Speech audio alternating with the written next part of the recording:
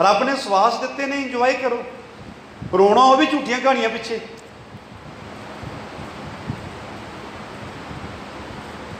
UNO ਦੀ report ਕਹਿੰਦੀ ਹੈ 156 ਦੇਸ਼ਾਂ ਵਿੱਚੋਂ ਖੁਸ਼ ਰਹਿਣ ਦੇ ਮਾਮਲੇ ਵਿੱਚ ਇੰਡੀਆ 140ਵੇਂ ਨੰਬਰ ਤੇ। ਇਹ ਮੇਰੀ ਰਿਪੋਰਟ ਨਹੀਂ ਹੈ ਯੂਐਨਓ ਦਾ ਸਰਵੇ ਹੈ। ਤੇ ਭੰਗੜੇ, ਗਿੱਧੇ, ਤੀਆਂ ਆ ਬੋਤਲਾਂ ਖੁੱਲਦੀਆਂ ਨੇ, ਹਵਾ 'ਚ ਫਾਇਰ ਹੁੰਦੇ ਨੇ। ਇਹ ਸਾਰਾ ਕੁਝ ਦਿਖਾਵਾ ਹੀ ਹੈ। ਸਭ ਡਿਪਰੈਸ਼ਨ 'ਚ ਨੇ। ਕਿ ਜਾਂ ਜੂਏ ਯੂਐਨਓ ਝੂਠ ਬੋਲਦੀ ਹੈ? ਲੋਕ ਰੱਬ ਤੋਂ ਟੁੱਟ ਗਏ। ਇਸ ਕਰਕੇ ਖੇੜਾ ਵੀ ਖਤਮ ਹੋ ਗਿਆ। ਅੱਧੀ ਦੁਨੀਆ ਪੰਜਾਬ, ਇੰਡੀਆ ਦੀ ਤਾਂ ਏਕਤਾ ਕਪੂਰ ਨੇ ਰੋਣ ਲਾਤੀ ਦੂਜਾ ਕਾਰਨ, ਮੇਰੇ ਪਰਿਵਾਰ ਦੇ ਲੋਕ ਵਿਹਲੇ ਨਹੀਂ ਹੈ ਕਿ ਫालतू ਚੀਜ਼ਾਂ ਦੇਖਣ। ਵਿਹਲੇ ਲੋਕ ਟਾਈਮ ਪਾਸ ਕਰਦੇ ਨੇ। ਪੁੱਤਰ ਮੇਰੇ ਪੰਜਾਬ, ਮੇਰੇ ਪਰਿਵਾਰ ਦੇ ਲੋਕ ਟਾਈਮ ਨੂੰ ਸਫਲਾ ਕਰਨਾ ਚਾਹੁੰਦੇ ਨੇ।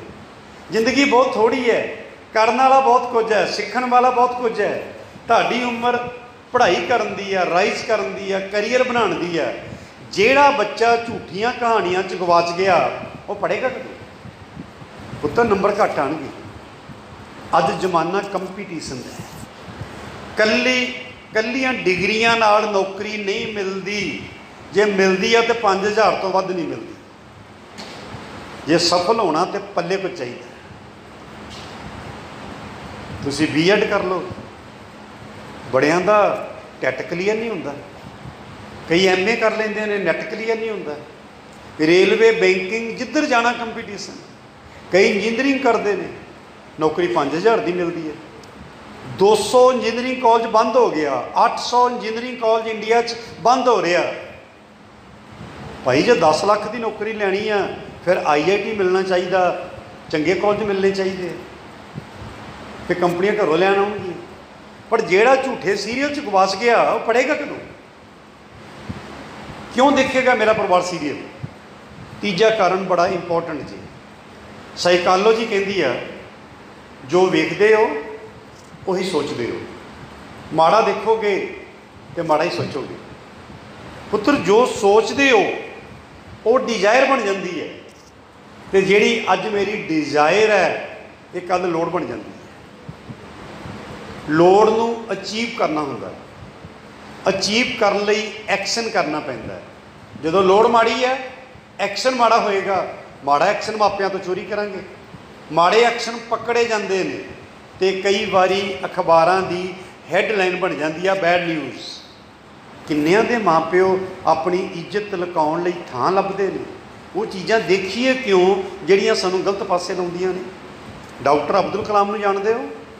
ਇੰਡੀਆ ਦਾ president, missile man, scientist, hard worker, ਦੁਨੀਆ ਦੀ ਓਨੈਸਟ ਪਰਸਨੈਲਿਟੀ ਉਹਦੀ ਡੈਥ ਹੋਈ। ਪਹਿਲੀ ਗੱਲ, ਉਹ ਮੱਛੀਆਂ ਵੇਚਣ ਵਾਲੇ ਦੇ ਘਰ ਜੰਮਿਆ ਕਿੱਥੇ ਪਹੁੰਚ ਗਿਆ? ਤੁਸੀਂ ਕਿਉਂ ਨਹੀਂ ਪਹੁੰਚ ਸਕਦੇ? ਜੇ ਪੁੱਤਰ ਇੱਛਾ ਸ਼ਕਤੀ ਮਜ਼ਬੂਤ ਹੈ, ਜੇ ਇਰਾਦੇ ਦ੍ਰਿੜਵਾ ਜੇ ਸੈਲਫ ਕੌਨਫੀਡੈਂਸ ਤਗੜਾ ਹੈ, ਤੇ ਜਿੱਥੇ ਚਾਹੋਗੇ ਪਹੁੰਚ ਜਾਓਗੇ। ਅਬਦੁਲ ਕਲਾਮ ਦੀ ਡੈਥ ਹੋਈ, ਦੁਨੀਆ ਦੇ ਲੋਕਾਂ ਨੇ ਉਹਨੂੰ ਸਲੂਟ ਕੀਤਾ ਉਹ ਇੰਡੀਆ ਦਾ ਪ੍ਰੈਜ਼ੀਡੈਂਟ ਸੀ। ਉਹਦੀ ਮੌਤ ਉੱਤੇ ਅਮਰੀਕਾ ਨੇ 2 ਦਿਨ ਆਪਣੇ ਦੇਸ਼ ਦਾ ਝੰਡਾ ਡੋਰ ਰੱਖਿਆ। ਤੇ ਜਿਹਨੂੰ ਦੁਨੀਆ ਨੇ ਸਲੂਟ ਕੀਤਾ ਉਸ ਅਬਦੁਲ ਕਲਾਮ ਦੇ ਘਰ ਵਿੱਚ ਇੱਕ ਰੇਡੀਓ ਸੀ, ਟੈਲੀਵਿਜ਼ਨ ਨਹੀਂ ਸੀ। ਤੇ ਮੈਨੂੰ ਕਿਹਨੇ ਭੁਲੇਖਾ ਪਾਤਾ ਕਿ ਸਾਡੇ ਕਮਰਿਆਂ 'ਚ ਐਲਈਡੀ ਲੱਗੇ ਹੋਣਗੇ ਤਾਂ ਗਵਾਂਢੀ ਸਲੂਟ ਮਾਰਨਗੇ ਜੇ ਚਾਹੁੰਦੇ ਹੋ ਤੁਹਾਨੂੰ ਦੁਨੀਆ ਸਲੂਟ ਕਰੇ, ਤੇ ਅੱਜ ਇਹ ਪ੍ਰੋਮਿਸ ਕਰਕੇ ਜਾਓ ਕਿ ਅਸੀਂ ਹਿਸਟੋਰੀਕਲ ਛੱਡ ਕੇ ਫालतू ਸੀਰੀਅਲ ਨਹੀਂ ਵੇਖਾਂਗੇ। ਬੜਾ ਕੁਝ ਦੇਖਣ ਵਾਲਾ ਡਿਸਕਵਰੀ ਜਗਰਾਫਿਕ ਹਿਸਟਰੀ ਹੋਰ ਬੜੇ ਚੰਗੇ ਚੈਨਲ ਨੇ। ਲਾਈਵ ਟੈਲੀਕਾਸਟ ਕੀਰਤਨ, ਕਥਾ, ਭਜਨ, ਕੀ ਹੋਏਗਾ? ਮਨ ਕਾਬੂ ਚ ਆ ਜਾਏਗਾ। ਬਿਰਤੀਆਂ ਕਾਗਰ ਹੋ ਜਾਣਗੀਆਂ। ਪੜ੍ਹਾਈ 'ਚ ਲੱਗ ਜਾਊਗਾ ਚੰਗੇ ਨੰਬਰ ਆ ਜਾਣਗੇ ਸਫਲ ਹੋ ਜਾਾਂਗੇ ਨੇਕ ਇਨਸਾਨ ਬਣ ਜਾਾਂਗੇ ਦੁਨੀਆ ਸਲੂਟ ਕਰੇਗੀ ਸਾਡੀ ਪਰਸਨੈਲਿਟੀ ਬਣੇਗੀ। ਤੇ ਜੇ ਇਹ ਲੱਗਦਾ ਵੀ ਭਾਈ ਕੁਰਬਾਨੀ ਕੀਰਤਨ ਕਥਾ ਭਜਨ ਤਾਂ ਬੋਰ ਕਰਦੇ ਨੇ ਤੇ ਗਾਣਿਆਂ ਵਿੱਚੋਂ ਆਨੰਦ ਮਿਲਦਾ ਹੈ, ਤੇ ਗਾਣੇ ਸੁਣ ਲਓ ਮੈਨੂੰ ਕੀ ਤਰ੍ਹਾਂ ਕੋਈ ਦੱਸੇਗਾ ਵੀ ਕਿਹੜੇ ਗਾਣੇ ਵਿੱਚੋਂ ਸੁੱਖ ਮਿਲਿਆ? ਮੈਨੂੰ ਤਾਂ ਪੰਜਾਬ ਦਾ ਪਤਾ ਹੈ। ਪੰਜਾਬੀ ਗਾਣੇ ਆ ਹਰਿਆਣੇ 'ਚ ਵੀ ਚੱਲਦੇ ਹੋਣਗੇ। ਉੱਥੇ ਤਾਂ ਗਾਣੇ ਇਹ ਚੱਲਦੇ ਨੇ ਵੀ ਇੱਕ ਰਾਤ ਲਈ ਹੋਸਟਲ ਬੁੱਕ ਕਰਾ ਦਿਓ, ਸ਼ਰਾਬਾਂ ਪੀਣੀਆਂ ਨੇ। ਪੜ੍ਹਾਈ ਫਿਰ ਬੜੀਆਂ ਕਰਨੀ ਹੈ ਪਹਿਲਾਂ ਐਜੂਕੇਸ਼ਨ ਦਾ ਬੇੜਾ ਕਰ ਕਰ ਕੀਤਾ ਹੁਣ ਕਹਿੰਦੇ ਵੀ ਲੀਵਰ ਵੀ ਜਿਹੜੇ ਆ, ਇਹ ਵੀ ਕਿਉਂ ਰਹਿਣ? ਇਹ ਵੀ ਗਰ ਕਰਦੇ। ਜਦੋਂ ਮੁੰਡੇ ਨੇ ਹੋਸਟਲ ਦੇ ਵਿੱਚ ਕੁੜੀ ਨੇ ਕਿਤਾਬਾਂ ਫੜ ਕੇ ਪੜ੍ਹਨਾ ਸੀ ਆਈਏਐਸ ਆਈਪੀਐਸ ਪੀਸੀਐਸ ਅਫਸਰ ਬਣਨਾ ਸੀ, ਅਸੀਂ ਪ੍ਰਵੋਕ ਕਰ ਦਿੱਤਾ ਵੀ ਤੂੰ ਸ਼ਰਾਬਾਂ ਪੀ। ਹੋਸਟਲ ਸ਼ਰਾਬਾਂ ਪੀਣ ਲਈ ਬੁੱਕ ਕਰੀ ਗਿਆ। ਕੋਈ ਗਾਣਾ ਦੱਸ ਦਿਓ। ਇਹ ਗੈਂਗਸਟਰ ਕਿੱਥੋਂ ਆਏ ਨੇ? ਕੋਈ ਕੰਪਨੀ ਹੈ? ਕੋਈ ਫੈਕਟਰੀ ਹੈ ਜਿੱਥੋਂ ਗੈਂਗਸਟਰ ਬਣਦੇ ਨੇ? ਪੁੱਤ ਜੱਟਾਂ ਦੇ ਫੜਨ ਗੰਡਾਸੇ ਬਦਲਾ ਲੈਣਾ ਹੈ। ਉਹਦੇ ਵਿੱਚੋਂ ਗੈਂਗਸਟਰ ਨਿਕਲੇ। ਲਿਖਣ ਵਾਲੇ ਮਾੜੇ, ਗਾਉਣ ਵਾਲੇ ਮਾੜੇ, ਅਸੀਂ ਵਿਆਹਾਂ ਤੇ ਡੀਜੇ ਲਾ ਕੇ ਇਹਨਾਂ ਗਾਣਿਆਂ ਦੀ ਜਖਣਾ ਪੱਟ ਰਹੇ ਹੁੰਦੇ ਹਾਂ। ਅਸੀਂ ਨਹੀਂ ਮਾੜੇ। ਭੈਣ ਭਰਾ ਦੇ ਸਾਹਮਣੇ ਆਉਂਦੀ ਆ, ਪਿਓ ਧੀ ਦੇ ਸਾਹਮਣੇ ਆਉਂਦਾ, ਮਾਂ ਪੁੱਤ ਦੇ ਸਾਹਮਣੇ ਆਉਂਦੀ ਹੈ। ਤੇ ਬਾਹਾਂ ਮਾਰ ਕੇ ਕੀ ਕਹਿੰਦੇ ਨੇ ਇੱਕ ਦੂਜੇ ਨੂੰ? ਤੇਰੇ ਚੋਂ ਤੇਰਾ ਯਾਰ ਬੋਲਦਾ ਮਾਫੀ ਦੇਣਾ ਮੈਨੂੰ। ਕਦੀ ਭੈਣ ਦੀ ਯਾਰ ਹੁੰਦੀ ਹੈ। ਇਹ ਗੱਲਾਂ ਕੌਣ ਸੋਚੇਗਾ?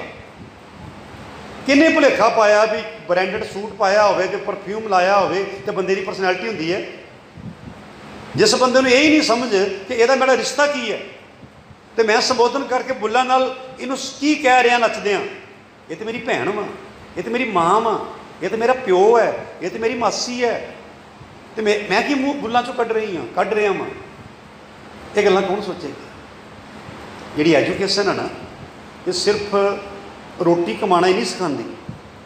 ਇਹ ਜ਼ਿੰਦਗੀ ਦੇ ਚੈਲੰਜਸ ਨੂੰ ਕਾਊਂਟਰ ਕਰਨਾ ਸਿਖਾਉਂਦੀ ਹੈ ਇਹ ਮੈਨਰ ਸਿਖਾਉਂਦੀ ਹੈ ਇਹ ਅਕਲ ਸਿਖਾਉਂਦੀ ਹੈ ਇਹ ਨੈਤਿਕਤਾ ਸਿਖਾਉਂਦੀ ਹੈ ਇਹ ਚੰਗੀਆਂ ਕਦਰਾਂ, ਕੀਮਤਾਂ ਸਿਖਾਉਂਦੀ ਹੈ ਇਹ ਰਿਸ਼ਤਿਆਂ ਦੀ ਪਹਿਚਾਣ ਸਿਖਾਉਂਦੀ ਹੈ ਅਸੀਂ ਤਾਂ ਰਿਸ਼ਤੇ ਭੁੱਲ ਗਏ। ਕਿਉਂ ਨਾ ਅਸੀਂ ਚੰਗਾ ਲਾਈਵ ਟੈਲੀਕਾਸਟ 'ਚ ਇੰਨਾ ਕੁਝ ਹੁੰਦਾ ਕੀਰਤਨ, ਕਥਾ, ਭਜਨ, ਉਹ ਸੁਣੀ।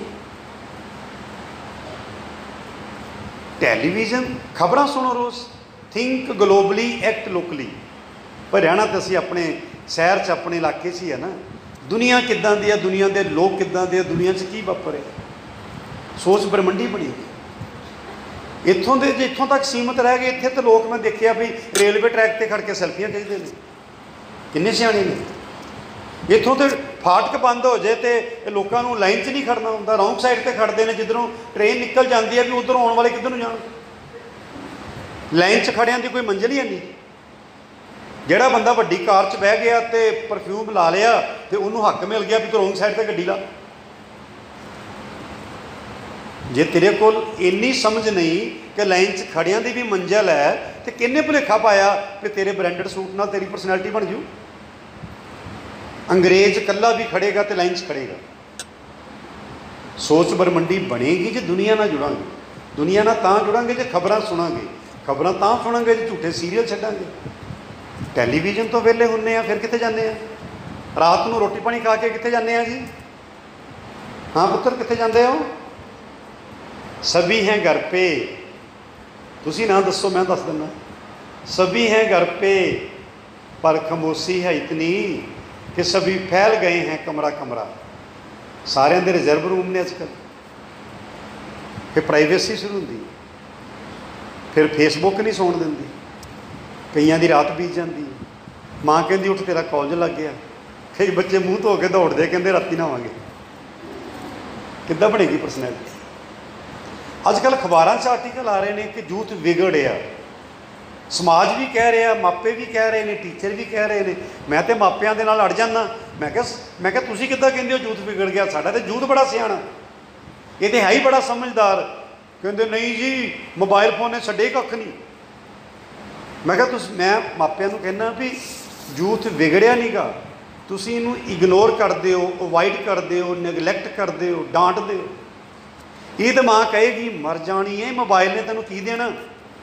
ਕੋਈ ਬੱਚੀ ਹੱਥ ਖੜੀ, ਹੱਥ ਖੜਾ ਕਰੋ, ਜਿਹਦੀ ਮਾਂ ਨੇ ਗੋਦ 'ਚ ਬਿਠਾ ਕੇ ਪਿਆਰ ਕਰਕੇ ਸਮਝਾਇਆ ਹੋਵੇ ਕਿ ਧੀਏ, ਮੋਬਾਈਲ ਚਲਾਉਣਾ ਕਿਵੇਂ ਹੈ। ਕਰੋ ਜੀ ਹੱਥ ਖੜਾ। ਕਿਹਦੀ ਮਾਂ ਨੇ ਸਮਝਾਇਆ? ਫਿਰ ਬੱਚਿਆਂ ਨੂੰ ਕੋਈ ਦੋਸ਼ ਦਿੰਦੇ ਆ? ਬੱਚੇ ਸਿਆਣੇ ਆ, ਸਮਝਾਓਗੇ ਤਾਂ ਸਮਝ ਜਾਣਗੇ। ਮੈਂ ਪੁੱਤਰ ਲੁਧਿਆਣੇ ਤੋਂ ਇਹ ਦੱਸਣ ਆਇਆ ਕਿ ਮੋਬਾਈਲ ਕਿੱਦਾਂ ਚਲਾਉਣਾ। ਸਮਝਾਵਾਂ ਕਿ ਫੱਟੇ ਚੱਕਦੇ ਦਿਓ? ਬੋਲੋ ਜੀ। ਓਕੇ। ਟੈਕਨੋਲੋਜੀ ਪਾਵਰ ਤੁਹਾਡੇ ਬੈੱਡਰੂਮ ਦੇ ਅੰਦਰ ਦੁਨੀਆ ਦਾ ਗਿਆਨ ਹੈ। ਗਿਆਨ ਨਾਲ ਕਿਸਮਤ ਬਦਲਦੀ ਹੈ। ਹੱਥਾਂ ਦੀਆਂ ਲਕੀਰਾਂ ਬਦਲ ਜਾਂਦੀਆਂ ਨੇ। ਬੰਦਾ ਸਮਾਨ ਤੋਂ ਤਾਰੇ ਤੋੜ ਸਕਦਾ ਮੈਂ ਪੜ੍ਹਦਾ ਸੀ ਜਦੋਂ ਮੈਂ ਸਾਈਕਲ ਤੇ ਚੜ੍ਹ ਕੇ ਕਾਲਜ ਦੀ ਲਾਇਬ੍ਰੇਰੀ 'ਚ ਗਿਆਨ ਲੱਭਣ ਜਾਂਦਾ ਸੀ।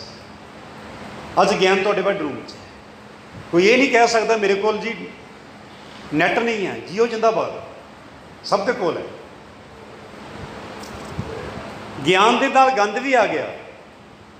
ਜੋ ਸਰਚ ਮਾਰਾਂਗੇ, ਜੋ ਗੂਗਲ ਨੂੰ ਪੁੱਛਾਂਗੇ ਸਕਰੀਨ ਤੇ ਆਏਗਾ। ਮੇਰੀ ਪ੍ਰਾਈਵੇਸੀ ਆ ਮੇਰੀ ਮਾਂ ਨਹੀਂ ਵੇਖਦੀ। ਪਰ ਮੇਰੀ ਕਿਸਮਤ ਮੇਰੇ ਹੱਥ ਵਿੱਚ ਹੈ। ਇਹ ਧਿਆਨ ਚ ਰੱਖਿਓ ਮਾਂ ਨਹੀਂ ਵੇਖਦੀ, ਕਿਸਮਤ ਮੇਰੇ ਹੱਥ 'ਚ ਹੈ। ਜੇ ਮੈਂ ਗਿਆਨ ਲੱਭਣਾ ਸ਼ੁਰੂ ਕਰ ਲਿਆ ਸਿਰਫ ਸਟੱਡੀ ਸ਼ੁਰੂ ਕਰ ਲਈ, ਤੇ ਅਸਮਾਨ ਤੇ ਚੜ ਜਾਣਾ। ਤੇ ਜੇ ਮੈਂ ਸਿੱਧਾ ਪੁੱਠਾ ਲੱਭਣਾ ਸ਼ੁਰੂ ਕਰ ਲਿਆ ਤੇ ਰਹਿਣਾ ਕੁਛ ਨਹੀਂ। ਉਦੋਂ ਚੰਗਾ ਲੱਗਣਾ, ਬਾਅਦ ਚ ਗਰਕ ਹੋ ਜਾਣਾ। ਲੁਧਿਆਣੇ ਵਿੱਚ ਇੱਕ ਲੜਕੀ ਹੈ, ਜਲ ਨਿੱਧ ਕੌਰ। ਥਰਡ ਕਲਾਸ ਵਿੱਚ ਪੜ੍ਹਦੀ ਸੀ। ਜਦੋਂ ਉਹਨੇ ਸਹਿਜ ਪਾਠ ਆਰੰਭ ਕੀਤਾ ਥਰਡ ਕਲਾਸ ਵਿੱਚ। ਹਰ ਕਲਾਸ ਵਿੱਚੋਂ ਫਸਟ ਆਂਦੀ ਸੀ। ਜਦੋਂ ਟੀਨ ਏਜ ਵਿੱਚ ਆਈ, ਤੇ ਉਹਦੇ ਪਾਪਾ ਨੇ ਕਿਹਾ ਵੀ ਪੁੱਤਰ, ਤੈਨੂੰ ਇੱਕ ਦਿਨ 'ਚ 20 ਮਿੰਟ ਨੈਟ ਚਲਾਉਣ ਨੂੰ ਮਿਲੇਗਾ। ਉਹਨੇ ਫੇਸਬੁੱਕ ਨਹੀਂ ਖੋਲੀ ਵੀ 20 ਫਰੈਂਡਸ ਦਾ ਨੋਟੀਫਿਕੇਸ਼ਨ ਆ ਗਿਆ ਹੈਪੀ ਬਰਥਡੇ ਤੇ ਚਲੋ 20 ਮਿੰਟ 'ਚ ਮੈਂ 20 ਨੂੰ ਹੈਪੀ ਬਰਥਡੇ ਵਿਸ਼ ਕਰ ਲਾਂ। ਉਹਨੇ ਗੂਗਲ ਤੇ ਇੱਕ ਐਪ ਗੂਗਲ ਐਪ ਤੇ ਇੱਕ ਐਪਲੀਕੇਸ਼ਨ ਡਾਊਨਲੋਡ ਕੀਤੀ ਤੇ ਨੋਟੀਫਿਕੇਸ਼ਨ ਆਈ ਇੱਕ ਐਸੇ ਰਾਈਟਿੰਗ ਕੰਪੀਟੀਸ਼ਨ ਉਹਨੇ ਇੱਕ ਐਸੇ ਲਿਖ ਕੇ ਪਾਤਾ। ਸੋਚਿਆ ਵੀ ਨਹੀਂ ਹੋਣਾ। ਵਿਨਰ ਡਿਕਲੇਅਰ ਹੋ ਗਈ। ਤੇ ਉਹਨੂੰ ਇਨਾਮ ਕੀ ਮਿਲਿਆ? ਅਮਰੀਕਾ ਦੀ ਸੈਰ। ਟੀਨ ਏਜ ਸੀ ਗਾਰਡੀਅਨ ਨਾਲ ਮਿਲਿਆ। ਮਾਵਾਂ ਧੀਆਂ ਘੁੰਮ ਕੇ ਆਈਆਂ। ਹੁਣ ਉਹਦੇ ਕੈਰੀਅਰ ਦੀ ਗੱਲ ਆ ਗਈ। ਅੱਗੇ ਕੰਪੀਟੀਸ਼ਨ ਕਲੀਅਰ ਕਰਨਾ ਸੀ। ਕਿਸੇ ਕੋਚਿੰਗ ਸੈਂਟਰ 'ਚ ਨਹੀਂ ਗਈ ਉਹਨੇ ਸੈਲਫ ਸਟੱਡੀ ਕੀਤੀ ਨੈਟ ਦੇ ਉੱਤੋਂ, ਇਸੇ ਨੈਟ 'ਚੋਂ, ਜਿਹਨੇ ਯੂਥ ਵਿਗਾੜਿਆ। ਉਹਨੂੰ 50 ਲੱਖ ਰੁਪਏ ਦਾ ਵਜ਼ੀਫਾ ਮਿਲਿਆ। ਉਹਨੇ ਆਕਸਫੋਰਡ ਯੂਨੀਵਰਸਿਟੀ 'ਚੋਂ ਐਮਫਿਲ ਇਨ ਇਕਨੋਮਿਕਸ ਕੀਤੀ। ਅੱਜ ਨਿਊਯਾਰਕ ਵਿੱਚ ਡੀ ਕਰ ਰਹੀ ਹੈ। ਤੁਸੀਂ ਕਿੱਦਾਂ ਕਹਿੰਦੇ ਹੋ? ਟੈਕਨੋਲੋਜੀ ਮਾੜੀ ਹੈ। ਮੇਰੇ ਛੋਟੇ ਬੇਟੇ ਨੇ ਬੀਟੈਕ ਕੀਤੀ। ਕਹਿੰਦਾ, ਪਾਪਾ ਗੇਟ ਦਾ ਪੇਪਰ ਦੇਣਾ। ਮੈਂ ਕਿਹਾ ਕੋਚਿੰਗ ਸੈਂਟਰ ਜਾ। ਕਹਿੰਦਾ, ਪਾਪਾ ਮਿਲਣ ਗਿਲਣ ਦੇ ਅੱਡੇ ਨੇ ਉਹ। ਮੈਂ ਕਿਹਾ, ਪੁੱਤਰ, ਪੜ੍ਹਾਈ ਦਾ ਅੱਡਾ ਕਿੱਥੇ ਆ ਕਹਿੰਦਾ ਬੈਡਰੂਮ 'ਚ ਕੌਣ ਪੜਾਉਂਦਾ ਉੱਥੇ ਤੈਨੂੰ? ਕਹਿੰਦਾ ਟੈਕਨੋਲੋਜੀ ਪਾਪਾ, ਹਰ ਚੀਜ਼ ਆਨਲਾਈਨ ਮਿਲਦੀ ਹੈ। ਤੁਸੀਂ ਕਿਹੜੇ ਜ਼ਮਾਨੇ 'ਚ ਖੜੇ ਹੋ? ਉਹਦਾ ਸੈਲਫ ਸਟੱਡੀ ਨਾਲ ਗੇਟ ਕਲੀਅਰ ਹੋ ਗਿਆ। ਸਾਢੇ ਤਿੰਨ ਲੱਖ ਦੀ ਨੌਕਰੀ ਛੱਡ ਕੇ ਵਾਪਸ ਆ ਗਿਆ, ਕਹਿੰਦਾ ਹੁਣ ਮੈਂ ਚੰਗੇ ਕਾਲਜ ਵਿੱਚ ਮਿਲੇਗੀ ਐਡਮਿਸ਼ਨ ਉਹਨੇ ਪੈਕ ਵਿੱਚੋਂ ਚੰਡੀਗੜ੍ਹੋਂ ਉਹਨੇ ਐਮਟੈਕ ਕੀਤੀ। ਉਹਨੂੰ 12400 ਰੁਪਏ ਵਜ਼ੀਫਾ ਮਿਲਿਆ ਹਰ ਮਹੀਨੇ। ਇੱਕ ਏਬੀਬੀ ਗਲੋਬਲ ਕੰਪਨੀ ਇੰਟਰਨਸ਼ਿਪ ਲਈ ਬੰਗਲੌਰ ਲੈ ਗਈ। 25000 ਰੁਪਇਆ ਮਹੀਨਾ ਉਹਨਾਂ ਨੇ ਫੈਲੋਸ਼ਿਪ ਦਿੱਤੀ। ਅਜੇ ਅਜੇ ਉਹਨੂੰ ਪ੍ਰੋਵੀਜ਼ਨਲ ਡਿਗਰੀ ਵੀ ਨਹੀਂ ਮਿਲੀ। ਉਹਨੂੰ ਕੈਪ ਜੈਮਨੀ ਕੰਪਨੀ ਚ ਨਹੀਂ ਲੈ ਗਈ 7.5 ਲੱਖ ਰੁਪਏ ਦਾ ਪੈਕੇਜ ਦੇ ਕੇ। ਤੁਸੀਂ ਕਿੱਦਾਂ ਕਹਿੰਦੇ ਹੋ ਕਿ ਟੈਕਨੋਲੋਜੀ ਮਾੜੀ ਹੈ? ਵੱਡੇ ਬੇਟੇ ਨੇ ਬਿਨਾਂ ਕਿਸੇ ਕੋਚਿੰਗ ਸੈਂਟਰ ਤੋਂ ਉਹਨੇ ਪਹਿਲੀ ਅਟੈਂਪਟ ਵਿੱਚ UGC ਨੈਟ ਉਹ ਵੀ ਵਿਦ JRF ਕਲੀਅਰ ਕੀਤਾ। ਤੇ PhD ਕਰਦਿਆਂ 35000 ਰੁਪਏ ਫੈਲੋਸ਼ਿਪ ਲਈ। ਅੱਜ ਡਾਕਟਰ ਬਣ ਕੇ ਕਾਲਜ ਪੜਾਉਣ ਲੱਗ ਪਿਆ। ਲੋਕੀ ਕਹਿੰਦੇ ਨੇ, ਤੇ ਮੋਬਾਈਲ ਨੇ ਯੂਥ ਵਿਗਾੜਿਆ, ਮੈਂ ਕਹਿੰਦਾ ਮੇਰਾ ਪਰਿਵਾਰ ਤਾਰਿਆ ਹੁਣ ਆਜੋ ਫੇਸਬੁੱਕ ਤੇ। ਜੇ ਤੁਸੀਂ ਆਪਣੇ ਭੈਣ ਭਰਾ, ਮਾਪੇ, ਰਿਸ਼ਤੇਦਾਰਾਂ ਕਲੋਜ਼ ਰਿਸ਼ਤੇਦਾਰਾਂ ਤੱਕ ਸੀਮਤ ਹੋ, ਇਹਦੇ ਵਿੱਚ ਗਵਾਸਤੇ ਨਹੀਂ ਹੋ ਤੇ ਜਿੰਦਾਬਾਦ। ਜਦੋਂ ਅਨਨੋਨ ਲੋਕਾਂ ਨੂੰ ਫਰੈਂਡ ਬਣਾਉਣ ਲੱਗ ਪਏ ਤੇ ਇਨਬਾਕਸ ਵਿੱਚ ਗੱਲਾਂ ਕਰਨ ਲੱਗ ਪਏ, ਇਹ ਮੁਰਦਾਬਾਦ ਹੈ। ਇਹ ਲਿਖ ਕੇ ਚਾਰਟ ਦੇ ਚਾਰਟ ਸੀਟ ਬਣਾ ਕੇ ਇਹ ਬੈਡਰੂਮ 'ਚ ਚਿਪਕਾਉਣਾ ਚਾਹੀਦਾ। ਫੇਸਬੁੱਕ ਦੀ ਐਡਮਿਨ ਕਾਉਂਸਲ ਦੀ ਇੱਕ ਸਟੇਟਮੈਂਟ ਸੁਣ ਲਓ। ਉਹਨੇ ਕਬੂਲ ਕੀਤਾ ਕਿ ਫੇਸਬੁੱਕ ਦੇ ਵਿੱਚ 40 ਕਰੋੜ ਫੇਕ ਲੋਕ ਨੇ। ਪਹਿਚਾਣ ਕੌਣ ਸਿਖਾਉਂਦਾ ਹੈ? ਜਿਹੜਾ ਕ੍ਰਿਮੀਨਲ ਹੋਵੇ। ਹੁਣ ਜਿੱਥੇ 40 ਕਰੋੜ ਬਦਮਾਸ਼ ਟਾਈਪ ਲੋਕ ਹੋਣ, ਉਹ ਸੰਸਾਰ ਦੇ ਅੰਦਰ ਜਾਣਾ ਕਿੰਨਾ ਖਤਰਾ ਹੈ? ਹੈ ਕਿ ਨਹੀਂ? ਤੁਹਾਡੀ ਉਮਰ ਕਿਹੜੀ ਹੈ? ਮੈਂ ਸਹਿਜ ਪਾਠ ਕਰਦਾ, ਮੈਨੂੰ ਗੁਰੂ ਜੀ ਦੱਸਦੇ ਆ, ਜਿੱਥੇ ਕਾਮ ਨਾ ਪੁੱਛੇ ਜਾਤ। ਤੇ ਇਸ ਉਮਰ 'ਚ ਕੋਈ ਮੇਰੇ ਇਨਬਾਕਸ ਵਿੱਚ ਹੈਲੋ ਲਿਖੇ, ਤੇ ਮੈਂ ਫਟਾਫਟ ਪੁੱਛਾਂ ਉਹਨੂੰ who are you how are you what about you I am fine good night ਮੈਨੂੰ ਬਹੁਤ ਚੰਗਾ ਲੱਗਦਾ ਹੈ, ਕਿਉਂਕਿ ਮੇਰੀ ਉਮਰ ਹੈ। ਪਰ ਪੁੱਤਰ ਜਿਹਨਾਂ ਦੀ ਉਮਰ ਟੱਪ ਜਾਂਦੀ ਹੈ ਨਾ ਫੇਸਬੁੱਕ ਤੇ ਉਹਨਾਂ ਦਾ ਕੱਖ ਨਹੀਂ ਛੱਡਦੀ। ਤੁਹਾਡੀ ਤੇ ਫਿਰ ਉਮਰ ਹੈ। ਇੱਕ ਟ੍ਰੂ ਸਟੋਰੀ ਸੁਣ ਲਓ, ਗੱਲ ਸੌਖੀ ਸਮਝਾ ਜਾਏਗੀ ਤਿੰਨ ਬੱਚਿਆਂ ਦੀ ਮਾਂ ਨੇ ਫੇਸਬੁੱਕ ਬਣਾਈ ਤੇ ਚਿਹਰਾ ਨਕਲੀ ਲਾ ਲਿਆ। ਕੋਈ ਨਕਲੀ ਬੰਦੇ ਨੇ ਹੈਲੋ ਪਾਤੀ ਤੇ ਚਿਹਰਾ ਬੜਾ ਸੋਹਣਾ ਉਹਨਾਂ ਦੀ ਦੋਸਤੀ ਬਣ ਗਈ। ਉਹ ਕਹਿੰਦਾ ਵੀ ਤੂੰ ਮੇਰੇ ਕੋਲ ਆ ਜਾ, ਆਪਾਂ ਇਕੱਠੇ ਰਹਿੰਦੇ ਆ ਉਹ ਕਹਿੰਦੀ, ਤਿੰਨ ਬੱਚੇ ਆਵਾਂ ਕਿੱਦਾਂ? ਕਹਿੰਦਾ, ਸੁੱਟ ਪਰਾਂ। ਕਹਿੰਦੀ, ਮੈਂ ਇੰਡੀਆ 'ਚ ਰਹਿੰਦੀ ਆ ਤੂੰ ਪਾਕਿਸਤਾਨ 'ਚ ਰਹਿਣਾ ਵਾ, ਇਹ ਕਿਵੇਂ ਪੋਸੀਬਲ ਹੈ? ਕਹਿੰਦਾ, ਮੈਂ ਬੜੀ ਵੱਡੀ ਕੰਪਨੀ 'ਚ ਅਫਸਰ ਹਾਂ, ਕੋਠੀਆਂ ਕਾਰਾਂ ਮੇਰੇ ਕੋਲ ਨੇ, ਜੇ ਸਾਰੀ ਜ਼ਿੰਦਗੀ ਮੌਜਾਂ ਕਰਨੀਆਂ, ਆ ਜਾ ਨਹੀਂ ਤੇ ਤੇਰੀ ਮਰਜ਼ੀ। ਉਹਨੇ ਧਾਰਮਿਕ ਜਥੇ 'ਚ ਵੀਜ਼ਾ ਲਵਾ ਲਿਆ, ਸ਼੍ਰੋਮਣੀ ਕਮੇਟੀ 'ਚ ਅਪਲਾਈ ਕਰਕੇ। ਤਿੰਨ ਬੱਚੇ ਦਾਦੇ ਦੇ ਸਰਾਣੇ ਰੱਖੇ। ਕਹਿੰਦੀ ਮੈਂ ਮੱਥਾ ਟੇਕ ਆਵਾਂ ਨਨਕਾਣਾ ਸਾਹਿਬ। ਮੁੜ ਕੇ ਅਖਬਾਰਾਂ 'ਚ ਰੌਲਾ ਪੈ ਗਿਆ ਬੀਬੀ ਗਵਾਚ ਗਈ ਉਹ ਬੰਦੇ ਕੋਲ ਪਹੁੰਚ ਗਈ। ਫੇਸਬੁੱਕ ਤੇ ਜਿਹੜਾ ਕਹਿੰਦਾ ਕਿ ਮੈਂ ਬੜੀ ਵੱਡੀ ਫੈਕਟਰੀ ਦਾ ਅਫਸਰ ਹਾਂ ਤੇ ਜਦੋਂ ਮਿਲੀ ਨਾ, ਧਾਗਾ ਫੈਕਟਰੀ ਦਾ ਮਜ਼ਦੂਰ ਸੀ ਉਹ। ਧਾਗਾ ਫੈਕਟਰੀ ਦਾ ਮਜ਼ਦੂਰ। ਇੱਕ ਹਫਤਾ ਰੱਖੀ ਘਰ ਵਾਲੀ ਬਣਾ ਕੇ ਵੀ ਭਲਿਆ ਮਾਨਸਾ ਹੁਣ ਤਾਂ ਰੱਖ ਲੈ। ਮੁੜ ਕੇ ਕੱਲੀ ਛੱਡ ਕੇ ਸਾਊਦੀ ਅਰਬ ਮਜ਼ਦੂਰੀ ਕਰਨ ਚਲਾ ਗਿਆ ਤੇ ਜਾਣ ਲੱਗਿਆ ਦਰਵਾਜ਼ੇ ਤੇ ਖੜ ਕੇ ਕੀ ਦੇ ਗਿਆ? ਬਾਏ। ਨਾ ਘਰ ਕੀ ਰਹੀ, ਨਾ ਘਾਟ ਕੀ ਰਹੀ, ਨਾ ਇਧਰ ਕੀ ਰਹੀ, ਨਾ ਉਧਰ ਕੀ ਰਹੀ। ਮੇਰਾ ਖਿਆਲ ਐਗਜ਼ਾਮਪਲ ਤਾਂ ਬਹੁਤ ਨੇ, ਪਰ ਸਮਝਣ ਲਈ ਇੱਕੋ ਹੀ ਕਾਫੀ ਹੈ, ਤਾਂ ਕਿ ਅਸੀਂ ਹੋਰ ਗੱਲਾਂ ਕਰ ਲਈਏ। ਜਦੋਂ ਵੀ ਅਨਨੋਨ ਬੰਦੇ ਦਾ ਕੋਈ ਮੈਸੇਜ ਜਾਂ ਕੋਈ ਰਿਕੁਐਸਟ ਆਂਦੀ ਹੈ ਤੇ ਇਹ ਉਂਗਲ ਕੰਬਣੀ ਚਾਹੀਦੀ ਹੈ ਕਲਿੱਕ ਵੱਜਣ ਤੋਂ ਪਹਿਲਾਂ। ਕਈ ਵਾਰੀ ਬੰਦੇ ਨੇ ਫੋਟੋ ਨਕਲੀ ਪਾਈ ਹੁੰਦੀ ਆ, ਇਹੋ ਜਿਹੇ ਲੋਕ ਵੀ ਹੁੰਦੇ ਨੇ ਅੱਜ ਅੱਜਕੱਲ ਹਰ ਮੋਬਾਈਲ ਲਈ ਫਿਰਦਾ, ਜਿਹਨੇ ਹਫਤਾ ਹਫਤਾ ਮੂੰਹ ਨਹੀਂ ਧੋਤਾ ਹੁੰਦਾ। ਅਸੀਂ ਕਹਿੰਦੇ ਫੋਟੋ ਬੜੀ ਸੋਹਣੀਆਂ ਗੱਲਾਂ ਕਰੋ ਜੀ ਇਹਦੇ ਨਾਲ। ਕਿਉਂ? ਸਾਡੇ ਕੋਲ ਕੰਮ ਨਹੀਂ ਹੈ। ਅਸੀਂ ਫਾਲਤੂ ਆ। ਅਸੀਂ ਵਿਹਲੇ ਥੋੜਾ ਹਾਂ ਸਾਡੀ ਭੂਆ ਦੀ ਧੀ ਤਾਂ ਹੈ ਗੱਲਾਂ ਕਰਨ ਨੂੰ। ਹੈਗੀ ਹੈ ਨਾ? ਮਾਸੀ ਦੀ ਧੀ ਵੀ ਹੈ। ਸਾਡਾ ਆਪਣਾ ਪਰਿਵਾਰ ਹੈਗਾ। ਆਪਣੀ ਪੜ੍ਹਾਈ ਵੀ ਤੇ ਕਰਨੀ ਹੈ? ਜਦੋਂ ਪੁੱਤਰ ਇਹ ਗੱਲਾਂ ਦਾ ਧਿਆਨ ਰੱਖੋਗੇ, ਟੈਕਨੋਲੋਜੀ ਜਿੰਦਾਬਾਦ, ਮੋਬਾਈਲ ਜਿੰਦਾਬਾਦ ਫੇਸਬੁੱਕ ਜਿੰਦਾਬਾਦ। ਚਲਾਉਣਾ ਆ ਗਿਆ ਕਿ ਨਹੀਂ?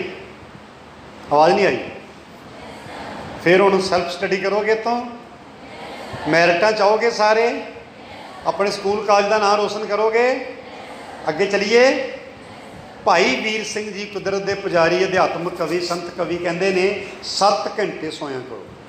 ਘੱਟ ਸੌਣ ਵਾਲੇ ਬਿਮਾਰ ਹੋ ਸਕਦੇ ਨੇ ਤੇ ਜਿਹੜੇ ਛੁੱਟੀਆਂ 'ਚ ਦੁਪਹਿਰੇ ਉੱਠ ਕੇ ਕਹਿੰਦੇ ਆ ਨਾ, ਮੰਮਾ, ਗੁੱਡ ਮਾਰਨਿੰਗ, ਉਹ ਹੁੰਦੇ ਹੀ ਬਿਮਾਰ ਨੇ। ਤੇ ਜਿਹੜੇ ਹਨੇਰੇ ਉੱਠਦੇ ਨੇ, ਉਹਨਾਂ ਦੀ ਜ਼ਿੰਦਗੀ 'ਚ ਹਨੇਰਾ ਆਉਂਦਾ ਹੀ ਨਹੀਂ। ਸਵੇਰੇ ਉੱਠੋ, ਇਸ਼ਨਾਨ ਕਰੋ, ਰੱਬ ਨੂੰ ਯਾਦ ਕਰੋ। ਪਰਮੇਸ਼ਰ ਤੇ ਭੁੱਲਿਆਂ ਵਿਆਪਨ ਸਭੇ ਰੋਗ, ਟੈਨਸ਼ਨ, ਡਿਪਰੈਸ਼ਨ, ਸੁਸਾਈਡ, ਡਰੱਗਸ, ਲੜਾਈਆਂ, ਝਗੜੇ ਕਿਉਂ ਨੇ? ਲੋਕ ਰੱਬ ਤੋਂ ਟੁੱਟ ਗਏ।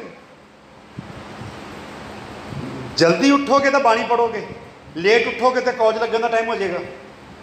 ਜੇ ਬਾਣੀ ਪੜੋਗੇ ਤੇ ਮਨ ਕਾਬੂ ਚ ਆ ਜਾਏਗਾ। ਮਨ ਲੋਚੈ ਬੁਰਾਈਆਂ, ਇਹ ਪੌੜੇ ਦੀ ਜੜ ਹੈ। ਜੇ ਮਨ ਕਾਬੂ ਚ ਆ ਗਿਆ, ਮਨ ਜੀਤੇ ਜਗ ਜੀਤ। ਬੱਚੇ ਸਫਲ ਤੇ ਨੇਕ ਇਨਸਾਨ ਬਣ ਜਾਓਗੇ।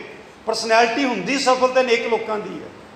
ਫਿਰ ਪੜ੍ਹਾਈ 'ਚ ਵੀ ਮਨ ਟਿਕ ਜੂਗਾ ਤੁਹਾਡਾ ਕੈਰੀਅਰ ਬਣ ਜੂਗਾ ਦੂਜਾ ਪੱਖ ਹੈ ਪਰਸਨੈਲਿਟੀ ਦਾ ਸਮਾਜ ਸੇਵਾ। ਜਿਹੜਾ ਬੰਦਾ ਸੇਵਾ ਨੂੰ ਸਮਰਪਿਤ ਹੈ, ਉਹਦੀ ਪਰਸਨੈਲਿਟੀ ਹੈ। ਸਾਨੂੰ ਤਾਂ ਜਮਨਾ ਨਗਰ 'ਚ ਕੋਈ ਜਾਣਦਾ ਨਹੀਂ। ਸੰਤ ਬਾਬਾ ਕਰਮਜੀਤ ਸਿੰਘ ਜੀ ਨੂੰ ਕਿੰਨੀ ਦੁਨੀਆ ਜਾਣਦੀ ਹੈ? ਕਿਉਂਕਿ ਇਹ ਕਿੱਡੀ ਵੱਡੀ ਸੇਵਾ ਹੈ ਐਜੂਕੇਸ਼ਨ ਦੀ। ਉਹ ਵੀ ਬੱਚੀਆਂ ਨੂੰ। ਕਹਿੰਦੇ ਨਾ ਵੀ ਜੇ ਇੱਕ ਲੜਕੀ ਪੜ ਗਈ ਤਾਂ ਟੱਬਰ ਪੜ ਗਿਆ।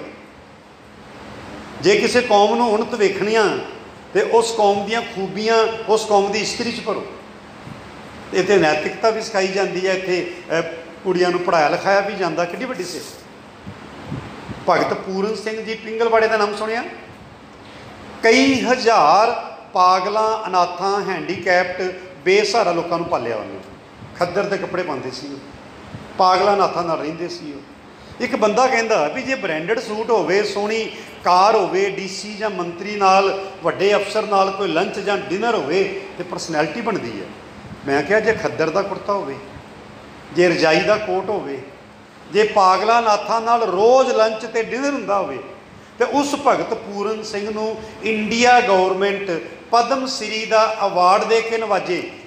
ਲੱਭ ਖਾਂ ਜਰਾ ਪਰਸਨੈਲਿਟੀ ਕਿੱਥੋਂ ਲੱਭਦੀ ਹੈ ਕਈ ਸੂਟਾਂ 'ਚ ਹੀ ਗਵੱਚੇ ਰਹਿ ਜਾਂਦੇ ਨੇ। ਕਈ ਖੱਦਰ ਪਾ ਕੇ ਵੀ ਪਦਮ ਸ੍ਰੀ ਤੱਕ ਪਹੁੰਚ ਜਾਂਦੇ ਨੇ। ਪਰ ਮੇਰੇ ਕਹਿਣ ਦਾ ਭਾਵ ਇਹ ਨਹੀਂ ਕਿ ਮਹਿੰਗੇ ਕੱਪੜੇ ਨਹੀਂ ਪਾਉਣੇ। ਦੇਖੋ, ਮਿਹਨਤ ਡਟ ਕੇ ਕਰੋ ਕਿ ਨੌਕਰੀ ਵੱਡੀ ਮਿਲੇ। ਕੋਈ ਨਸ਼ਿਆਂ ਦੇ ਤਸਕਰ ਬਣ ਕੇ ਦੂਜਿਆਂ ਦੇ ਘਰ ਬਰਬਾਦ ਕਰਕੇ ਕੋਠੀ ਪਾਵੇ ਤਾਂ ਲਾਹਣਤ ਹੈ। ਬਾਬਾ ਨਾਨਕ ਵੀ ਕਹਿੰਦਾ, ਕਿਰਤ ਵਿਰਤ ਕਰ ਧਰਮ ਧਰਮ ਦੀ, ਜਦ ਆਪਾਂ 550 ਸਾਲਾਂ ਮਨਾ ਰਹੇ ਹਾਂ। ਤੁਹਾਡੀ ਕਿਰਤ ਪੜ੍ਹਾਈ ਹੈ, ਡਟ ਕੇ ਪੜੋਗੇ ਨੌਕਰੀ ਵੱਡੀ ਮਿਲ ਜਾਊਗੀ, ਵੱਡੀ ਨੌਕਰੀ ਵਾਲਾ ਜੀਵਨ ਸਾਥੀ ਮਿਲ ਜਾਏਗਾ। ਇਹ ਰੱਬ ਦੀ ਬਖਸ਼ਿਸ਼ ਹੈ, ਤੁਹਾਡੀ ਮਿਹਨਤ ਹੈ, ਇਹਨੂੰ ਹੰਡਾਇਓ ਸੋਹਣੀ ਕੋਠੀ 'ਚ ਰਹੋ, ਸੋਹਣੇ ਕੱਪੜੇ ਪਾਇਓ, ਸੋਹਣੀ ਕਾਰ 'ਚ ਬੈਠਿਓ, ਸੱਜ ਧੱਜ ਕੇ ਰਹੋ। ਮੈਂ ਤਾਂ ਇਹ ਕਹਿਣਾ ਆ, ਪੱਲੇ ਵੀ ਕੁਝ ਹੋਣਾ ਚਾਹੀਦਾ। ਤੁਹਾਡੇ ਹਰਿਆਣੇ ਦੀ ਇੱਕ ਸਟੋਰੀ ਟ੍ਰਿਊ ਸਟੋਰੀ ਸੁਣਾਉਂਦਿਆਂ ਗੱਲ ਸਮਝਾਉਣ ਲਈ। ਕਿਉਂਕਿ ਹਰਿਆਣੇ ਦੀ ਹੈ, ਜੇ ਕਿਸੇ ਨਾਲ ਮੇਲ ਖਾਂਦੀ ਹੋਈ ਤੇ ਮੈਨੂੰ ਮਾਫੀ ਦੇ ਦਿਓ। ਹਰਿਆਣੇ ਦਾ ਇੱਕ ਮੁੰਡਾ ਬ੍ਰਾਂਡਡ ਸੂਟ ਪਾ ਕੇ ਸੋਹਣੀ ਕੋਠੀ ਚੋਂ ਨਿਕਲਿਆ ਤੇ ਸੋਹਣੀ ਕਾਰ 'ਚ ਬਹਿ ਕੇ ਦੋਸਤ ਨਾਲ ਠੇਕੇ ਚਲਾ ਗਿਆ। ਡਰਿੰਕ ਕੀਤੀ, ਕਹਿੰਦਾ ਸਟੇਟਸ ਹੈ। ਰਾਤ ਦਾ ਵੇਲਾ ਸੀ, ਸੜਕਾਂ ਤੇ ਘੁੰਮਣ ਲੱਗ ਪਏ। ਇੱਧਰ ਕਾਰ, ਉੱਧਰ ਕਾਰ ਭਜਾ, ਇੱਕ ਲੜਕੀ ਕਾਰ ਡਰਾਈਵ ਕਰ ਰਹੀ ਸੀ, ਉਹਦੇ ਪਿੱਛੇ ਕਾਰ ਲਾਤੀ ਉਹ ਲੜਕੀ ਸਮਝ ਗਈ ਕਿ ਮੈਨੂੰ ਫੜਨਗੇ। ਉਹ ਇੱਕ ਆਈਏਐਸ ਅਫਸਰ ਦੀ ਧੀ ਸੀ। ਉਹਨੇ ਪੁਲਿਸ ਨੂੰ ਫੋਨ ਮਾਰਿਆ। ਅਗਲੇ ਨਾਕੇ ਤੇ ਮੁੰਡੇ ਫੜ ਕੇ ਜੇਲ੍ਹ ਭੇਜ ਦਿੱਤੇ। ਉਹਦੇ ਪੇਪਰ ਆ ਗਏ। ਜੱਜ ਨੇ ਜ਼ਮਾਨਤ ਦੀ ਅਰਜ਼ੀ ਰੱਦ ਕਰ ਦਿੱਤੀ। ਪੇਪਰ ਦੇਣ ਤੋਂ ਵਾਂਝਾ ਰਹਿ ਗਿਆ। ਹੁਣ ਬ੍ਰਾਂਡਡ ਸੂਟਾਂ ਵਾਲੇ ਮੁੰਡੇ ਦਾ ਕੈਰੀਅਰ ਤਬਾਹ ਹੋ ਗਿਆ। ਵੱਡੀ ਕੋਠੀ, ਵੱਡੀ ਕਾਰ ਤੇ ਵੱਡੇ ਘਰਾਂ ਦਾ ਕਾਕਾ ਬਦਨਾਮ ਹੋ ਗਿਆ। ਡਾਕਟਰ ਨਰਿੰਦਰ ਸਿੰਘ ਕਪੂਰ ਪਟਿਆਲਾ ਲਿਖਦੇ ਆ, ਕਹਿੰਦੇ ਜਿਹੜਾ ਜਵਾਨੀ ਵਿੱਚ ਬਦਨਾਮ ਹੋ ਗਿਆ ਨਾ, ਬੁਢਾਪੇ ਵਿੱਚ ਉਹਦੇ ਕੋਲ ਦੱਸਣ ਲਈ ਕੁਝ ਨਹੀਂ ਬਚਦਾ। ਕੱਲ ਪੁੱਤਰ ਉਹਦੇ ਬੱਚੇ ਟੀਨੇਜਰ ਹੋਣਗੇ ਤੇ ਕੀ ਮਤਲਬ? ਕੋਈ ਕੋਈ ਜਵਾਨੀ 'ਚ ਬਦਨਾਮ ਹੋ ਗਿਆ ਤੇ ਕਦੋਂ ਆਪਣੇ ਬੱਚੇ ਹੋਣਗੇ ਤੇ ਕੀ ਸਿੱਖਿਆ ਦਊਗਾ ਸਭ ਕੁਝ ਬਚਾ ਕੇ ਨਿਕਲ ਜਾਈਏ ਪਰਸਨੈਲਿਟੀ ਤਾਂ ਬਣਦੀ ਹੈ। ਮੈਂ ਤੁਹਾਨੂੰ ਇੱਕ ਪਰਸਨੈਲਿਟੀ ਦੀ ਸਟੋਰੀ ਸੁਣਾਣਾ ਕਿ ਗਰੀਬ ਬੰਦਾ ਕਿੱਦਾਂ ਅਮੀਰ ਬਣ ਗਿਆ। ਸਿੱਖ ਕੌਮ ਨੂੰ ਕੀ ਕੁਝ ਕੰਟਰੀਬਿਊਟ ਦੇ ਕੇ ਕਰਕੇ ਦੇ ਗਿਆ। ਔਰ ਉਹਦੀਆਂ ਅੱਜ ਪੀੜ੍ਹੀਆਂ ਕਿੱਥੇ ਕਿੱਥੇ ਪਹੁੰਚ ਗਈਆਂ। ਜੇ ਉਹਨੂੰ ਅਪਣਾ ਲਓਗੇ, ਤੇ ਇੱਕ ਦਿਨ ਦੁਨੀਆ ਤੁਹਾਨੂੰ ਸਲੂਟ ਕਰੇਗੀ। ਸੋ ਧਿਆਨ ਨਾਲ ਸੁਣੋ। ਡਾਕਟਰ ਸਾਹਿਬ ਸਿੰਘ, ਜਿਨ੍ਹਾਂ ਨੇ ਗੁਰੂ ਗ੍ਰੰਥ ਸਾਹਿਬ ਜੀ ਦੇ ਅਰਥ ਲਿਖੇ ਆ 10 ਕਿਤਾਬਾਂ 'ਚ, ਉਹਦਾ ਨਾਮ ਹੈ ਗੁਰੂ ਗ੍ਰੰਥ ਦਰਪਣ 10 ਵਾਲੀਅਮਸ। ਕਿੱਡੀ ਵੱਡੀ ਦੇਣ ਹੈ। 1800 ਰੁਪਏ ਦੇ ਮਿਲਣਗੇ ਸਿੰਘ ਬ੍ਰਦਰ ਦੇ ਕੋਲੋਂ। ਤੁਸੀਂ ਆਪਣੇ ਗੂਗਲ ਦੇ ਉੱਤੇ ਜਾਓ ਤੇ ਇਹਨੂੰ ਡਾਊਨਲੋਡ ਕਰ ਲਓ। ਤੁਹਾਡੇ ਹੱਥ 'ਚ ਮੋਬਾਈਲ ਚਰਥ ਆ ਜਾਣਗੇ ਕਿੰਨਾ ਗਿਆਨ ਨੇੜੇ ਹੈ ਪਰ ਜਿਹਨੇ ਅਰਥ ਲਿਖੇ, ਉਹਦੀ ਕਿੱਡੀ ਵੱਡੀ ਕੰਟਰੀਬਿਊਸ਼ਨ ਹੈ। ਉਹ ਡਾਕਟਰ ਸਾਹਿਬ ਸਿੰਘ ਦਾ ਜਨਮ ਇੱਕ ਗਰੀਬ ਹਿੰਦੂ ਘਰ 'ਚ ਹੋਇਆ। ਤੇ ਪਹਿਲਾ ਨਾਮ ਸੀ ਨੱਥੂ ਰਾਮ। ਸਟੋਰੀ ਸੁਣ ਲਿਓ। ਨੱਥੂ ਰਾਮ ਛੋਟਾ ਹੁੰਦਾ, ਬਾਣੀ ਪੜਨ ਲੱਗ ਪਿਆ ਤੇ ਹਰ ਕਲਾਸ ਵਿੱਚੋਂ ਫਸਟ ਆਇਆ। ਤੇ 8ਵੀਂ ਚ ਪੜਦਿਆਂ 6 ਰੁਪਈਓ ਉਸ ਜ਼ਮਾਨੇ 'ਚ ਉਹਦਾ ਵਜ਼ੀਫਾ ਲੱਗਿਆ। 9ਵੀਂ ਵਿੱਚ ਪੜਦਿਆਂ ਉਹਨੇ ਅੰਮ੍ਰਿਤ ਛਕ ਲਿਆ ਤੇ ਸਾਹਿਬ ਸਿੰਘ ਬਣ ਗਿਆ। ਸਾਹਿਬ ਸਿੰਘ ਦੇ ਪਾਪਾ ਮਰ ਗਏ। 6 ਭੈਣ ਭਰਾ, ਸਭ ਤੋਂ ਵੱਡਾ ਘਰ ਰੋਟੀ ਖਾਣ ਨੂੰ ਪੈਸੇ ਨਹੀਂ। ਕਈ ਵਾਰੀ ਛੋਟਿਆਂ ਨੂੰ ਖਵਾ ਕੇ ਭੁੱਖਾ ਸੌਂ ਜਾਂਦਾ ਸੀ। ਪਾਪਾ ਮਰਨ ਲੱਗਿਆਂ ਕਹਿੰਦੇ, ਸਾਹਿਬ ਪੁੱਤ ਲਾਇਕ ਬੜਾ। ਔਖੇ ਸੌਖੇ ਦਸਵੀਂ ਪੜਾ ਲਿਓ, ਹਟਾਇਓ ਨਾ। ਹੁਣ ਵਿਧਵਾ ਭੂਆ ਘਰ 'ਚ ਰਹਿੰਦੀ ਸੀ। ਉਹਦੇ ਕੋਲ ਗਹਿਣਾ ਸੀ। ਗਹਿਣਾ ਸੇਠ ਕੋਲ ਰੱਖ ਕੇ ਕਰਜ਼ਾ ਚੱਕਿਆ ਭੂਆ ਨੇ ਤੇ ਸਾਹਿਬ ਸਿੰਘ ਨੇ ਤਾਂ ਦਸਵੀਂ ਪੜ੍ਹੀ। ਡਾਕੀਏ ਦੀ ਪੋਸਟਮੈਨ ਦੀ ਨੌਕਰੀ ਨਿਕਲੀ ਸਿਆਲਕੋਟ। ਅੱਜ ਪਾਕਿਸਤਾਨ 'ਚ ਹੈ। ਉਹਦੇ ਘਰ ਤੋਂ 72 ਕਿਲੋਮੀਟਰ ਦੂਰ ਸੀ ਤੇ ਸਾਹਿਬ ਸਿੰਘ ਕੋਲ ਕਿਰਾਇਆ ਨਹੀਂ ਸੀ। ਪੈਦਲ ਤੁਰ ਪਿਆ। ਰਾਹ ਵਿੱਚ ਜੁੱਤੀ ਟੁੱਟ ਗਈ। ਗਰੀਬ ਨੰਗੇ ਪੈਰੀ ਤੁਰਦਾ ਗਿਆ। ਪੈਰਾਂ ਥੱਲੇ ਛਾਲੇ ਪੈ ਗਏ।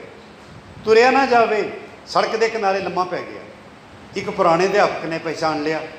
ਸਿਆਲਕੋਟ ਦੇ ਟਾਂਗੇ 'ਚ ਬਿਠਾ ਕੇ ਹੱਥ 'ਚ 2 ਰੁਪਏ ਫੜਾਤੇ ਸਿਆਲਕੋਟ ਜਾ ਕੇ 20 ਰੁਪਏ ਮਹੀਨੇ ਦੀ ਤਨਖਾਹ ਤੇ ਉਹਨੂੰ ਪੋਸਟਮੈਨ ਦੀ ਨੌਕਰੀ ਮਿਲ ਗਈ। ਇੱਕ ਦਿਨ ਸੋਚਦਾ ਹੈ, ਇੱਕ ਮਹੀਨਾ ਰੋਟੀ ਖਾ ਲੈਣਾ ਤੇ 20 ਰੁਪਏ ਮੁੱਕ ਜਾਂਦੇ ਨੇ। ਭੂਆ ਦੇ ਕਰਜ਼ੇ ਦੀ ਕਿਸ਼ਤ ਕਿੱਥੋਂ ਦੇਂ ਪਰ ਉਹਨੇ ਸੁਸਾਈਡ ਨਹੀਂ ਕੀਤਾ, ਇਹ ਸਿੱਖ ਲਓ। ਤੁਸੀਂ ਪੜਨ ਆਏ ਹੋ, ਪੜ੍ਹਾਈ ਦੀ ਵੈਲਿਊ ਸਿੱਖ ਲਓ ਸਾਹਿਬ ਸਿੰਘ ਕੋਲੋਂ। ਇੱਕ ਦਿਨ ਸੋਚਦਾ ਹੈ, ਜਿਹੜੀ ਨੌਕਰੀ ਕਰ ਰਿਹਾ ਮਾਂ 10 ਜਮਾਤਾਂ ਪੜ੍ਹ ਕੇ ਇਹਦੇ ਨਾਲੋਂ ਵੱਡੀ ਨੌਕਰੀ ਨਹੀਂ ਮਿਲਣੀ। ਸਾਰੀ ਜ਼ਿੰਦਗੀ ਲੱਗਾ ਰਵਾਂ, ਮੇਰੀ ਭੂਆ ਦਾ ਕਰਜ਼ਾ ਹੀ ਨਹੀਂ ਉਤਰਨਾ, ਬੱਚੇ ਕਿੱਦਾਂ ਪੜਾਵਾਂਗਾ ਮੇਰੇ ਬੱਚੇ ਰੁੱਲ ਜਾਣਗੇ। ਉਹਨੇ ਸੋਚਿਆ, ਮੈਂ ਨੌਕਰੀ ਛੱਡਾਂ, ਇੱਕ ਕਰਜ਼ਾ ਹੋਰ ਚੱਕਾਂ ਤੇ ਕਾਲਜ ਪੜ੍ਹਨੇ ਪੈ ਜਾਵਾਂ। ਜੇ ਮੈਂ ਲੈਕਚਰਾਰ ਲੱਗ ਗਿਆ 8 ਗੁਣਾ ਤਨਖਾਹ ਵਧੂ, ਕਰਜ਼ੇ ਵੀ ਉਤਰ ਜਾਣਗੇ, ਬੱਚੇ ਵੀ ਪੜ ਜਾਣਗੇ, ਨੌਕਰੀ ਛੱਡੀ ਤੇ ਘਰ ਆ ਗਿਆ। ਮਾਂ ਰੋ ਪਈ, ਪੁੱਤ 20 ਰੁਪਏ ਕਿੱਥੋਂ ਲੱਭਾਂਗੇ? ਇੱਕ ਕਰਜ਼ਾ ਹੋਰ ਚੱਕ ਲਿਆ। ਇੱਕ ਦੋਸਤ ਨੂੰ ਕਹਿਣ ਲੱਗਾ, ਹਜ਼ਾਰਾ ਸਿੰਘ, ਤੇਰੇ ਨਾਲ ਮੈਂ ਲਾਹੌਰ ਜਾਣਾ। ਉਹ ਕਹਿੰਦਾ, ਮੈਂ ਪੜ੍ਹਾਈ ਕਰਨ ਜਾਣਾ, ਤੂੰ ਕੀ ਲੈਣਾ? ਕਹਿੰਦਾ, ਮੈਂ ਵੀ ਕਾਲਜ ਪੜ੍ਹਨਾ ਵਾਂ। ਤੇ ਹਜ਼ਾਰਾ ਸਿੰਘ ਨੇ ਪਤਾ ਕੀ ਕਿਹਾ ਸੀ? ਜਾਤ ਦੀ ਕੋੜ ਕਿਰਲੀ ਤੇ ਸਤੀਰੀਆਂ ਨੂੰ ਜੱਫੇ। ਤੂੰ ਕਾਲਜ ਪੜ੍ਹੇਗਾ। ਪਹਿਲਾਂ ਬੂਥੀ ਤਾਂ ਦੇਖ ਆਪਣੀ। ਸਾਹਬ ਸਿਆਂ ਜਿਹੜੇ ਮੁੰਡੇ ਕੁੜੀਆਂ ਕਾਲਜ ਪੜਨ ਜਾਂਦੇ ਆ ਨਾ ਤੂੰ ਉਹਨਾਂ ਦੀ ਟੌਰ ਨਹੀਂ ਵੇਖੀ। ਇੱਕ ਦਿਨ 'ਚ ਦੋ ਦੋ ਵਾਰੀ ਕੋਟ ਬਦਲਦੇ ਨੇ। ਤੂੰ ਤੇ ਇੱਕ ਕੋਟ 10 ਸਾਲ ਨਹੀਂ ਲਾਉਂਦਾ ਹੈ, ਤੇ ਤੂੰ ਕਾਲਜ ਪੜ੍ਹੇਗਾ। ਤੇ ਪੁੱਤਰ ਸਾਹਿਬ ਸਿੰਘ ਦਾ ਇੱਕ ਲਾਈਨ ਦਾ ਜਵਾਬ ਹੈ ਸਮਝ ਪੈ ਜਾਵੇ ਨਾ ਤੇ ਬੰਦੇ ਦੀ ਜ਼ਿੰਦਗੀ ਪਲਟ ਜਾਂਦੀ ਹੈ। ਕਹਿੰਦਾ ਹਜ਼ਾਰਾ ਸਿਆਂ ਲਾਹੌਰ ਮੈਂ ਕੋਟ ਪਾਉਣੇ, ਸਿੱਖਣ ਨਹੀਂ ਜਾਣਾ, ਪੜ੍ਹਾਈ ਕਰਨ ਜਾਣਾ। ਲਾਹੌਰ ਮੈਂ ਬੰਕ ਮਾਰ ਕੇ ਫਿਲਮਾਂ ਦੇਖਣ ਜਾਂ ਕੰਟੀਨ ਪਾਰਕਾਂ 'ਚ ਬਹਿ ਕੇ ਗੱਪਾਂ ਮਾਰਨ ਨਹੀਂ ਜਾਣਾ ਪੜਨ ਜਾਣਾ। ਗਰੀਬ ਬੰਦਾ ਕਰਜ਼ਾ ਚੱਕ ਕੇ ਪੜਨ ਤੁਰਿਆ ਤੇ ਜਿਹਨੂੰ ਕਹਿੰਦੇ ਸੀ ਜਾਤ ਦੀ ਕੋੜ ਕਰ ਲਈ, ਪਤਾ ਕਿੰਨਾ ਪੜ ਕੇ ਆਇਆ? ਸੋਚ ਵੀ ਨਹੀਂ ਸਕਦੇ। ਉਹਦੇ ਕੋਲ ਡੀ ਲਿਟ ਦੀ ਡਿਗਰੀ ਆ ਗਈ ਡਾਕਟਰ ਆਫ ਲਿਟਰੇਚਰ ਦੀ ਡਿਗਰੀ। ਜ਼ਮੀਨ ਤੇ ਲੰਮਾ ਪਿਆ ਬੰਦਾ ਅਸਮਾਨ ਤੇ ਚੜ ਗਿਆ।